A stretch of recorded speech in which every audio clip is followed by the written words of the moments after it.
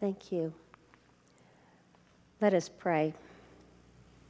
Almighty and ever living God, you have known us from the beginning of time.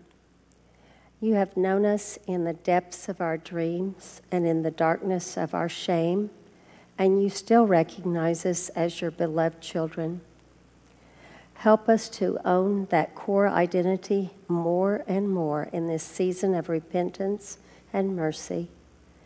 Give us the rock solid assurance of your unwavering faith in us as we seek to do the same for you. We ask for your blessings on this congregation.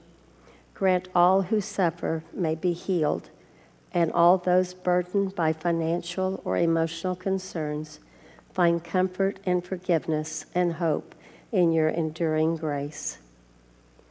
Center our hearts in your love shown for us in Christ Jesus.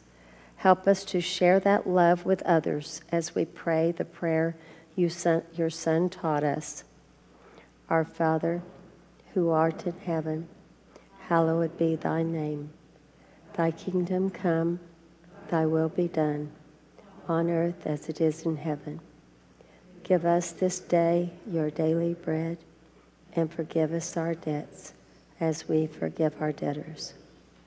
And lead us not into temptation, but deliver us from evil. For thine is the kingdom, and the power, and the glory forever. Amen.